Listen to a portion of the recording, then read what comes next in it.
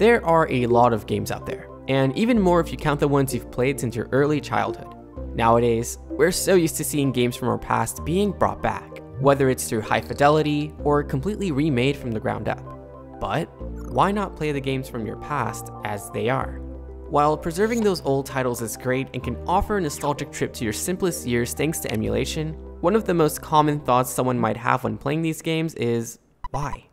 Why go through the trouble of replaying through old games that visually don't stack up against the games of our current generation? Aside from reliving your childhood, that's about it. Okay, so you've collected all the masks and can defeat bosses as Fierce Deity Link. Cool. You've reached the top of every flagpole in New Super Mario Bros. for the DS. Alright, you've paid all your mortgage and are no longer a slave to Tom Nook. And it all took hours out of your day, if not weeks of your spare time grinding through these old games just to accomplish a hollow victory that leaves you thinking, what now? Surely there's a way to encapsulate these accomplishments and display them like trophies akin to your beautiful collection in Super Smash Bros. Melee. Well, yeah. There is.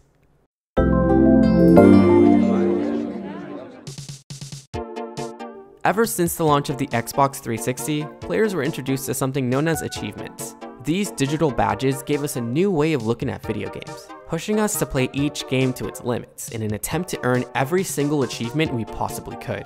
Soon after, the PS3 launched with the same feature, except Sony calls them trophies. Your PlayStation Network account would have a trophy level too, which meant it grew with each trophy you earned.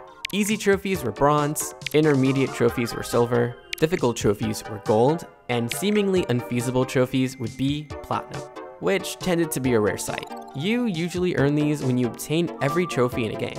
If you were a collector or a completionist in general, these were enough to motivate you to play through each game till the end and maybe even 100% the ones you otherwise wouldn't have. It wasn't long before this feature became the norm for most platforms to this day, with the exception of Nintendo, who has yet to implement any sort of achievement system in any of their consoles. But why bring this up? Well, it's because of these officially licensed achievements that fans went ahead and created their own achievement system for older games that originally weren't able to have this feature implemented. This came in the form of retro achievements.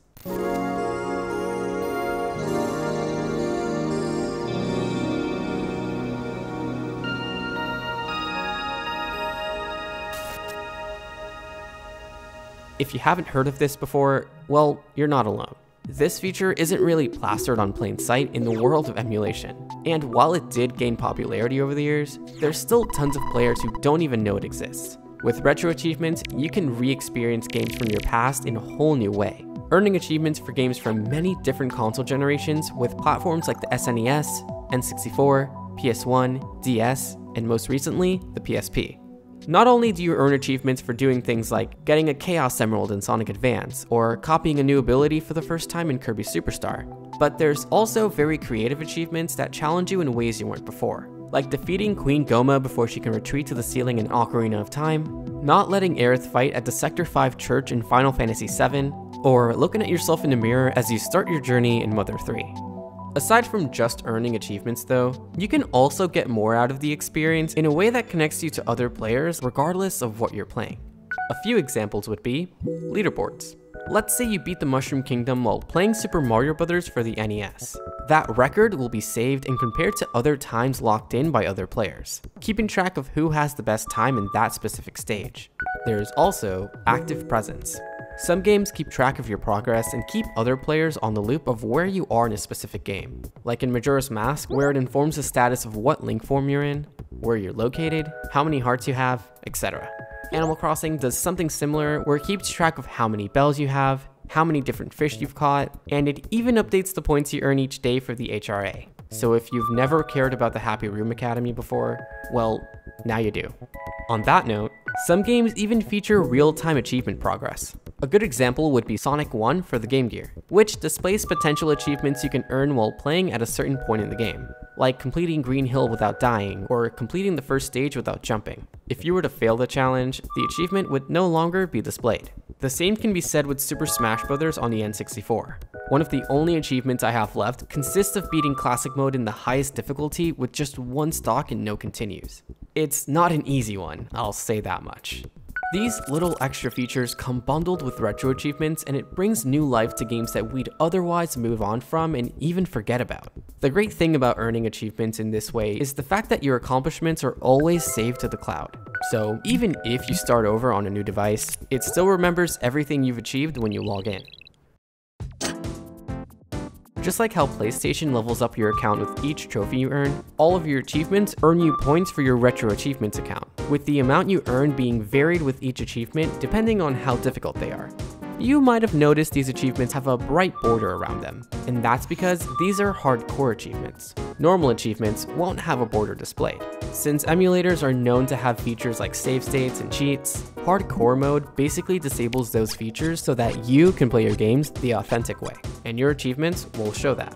To top it off, hardcore achievements are worth double the points, and getting every achievement for a game will result in a badge on your profile, showing you've mastered said game.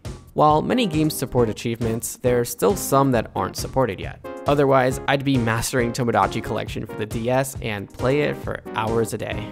Trust me, I would. Fortunately, there's a bright side.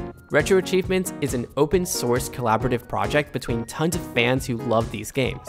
You yourself could potentially claim a game that doesn't have achievements yet for a supported console, program those achievements, and even design or rework the artwork for each of them. So, someone out there, please add a set for this game. I would be incredibly happy. I like to keep track of new achievements through Cheevo Tracker. They update their database every day at 12 a.m. Pacific time. It also helps me keep track of achievement progress for games I want to focus on the most.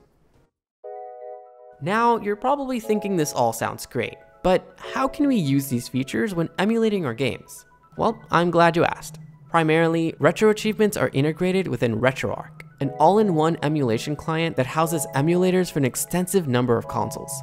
In the settings tab, you can find the achievements option, and all you have to do is make sure you have a retro achievements account, log in, and enable the achievements along with the settings that help make the experience more enjoyable for you. When you're playing a game in RetroArch, you'll be greeted with achievement progress in the bottom left. And if you go into the menu mid-game, you can keep track of that game's achievements in case you ever want to refresh your focus on whatever objective you're after, or if you just want to stare at them all. If for whatever reason your achievements aren't active for a supported game, chances are you don't have the correct ROM file. You can verify this by going to the game's page on the RetroArch site.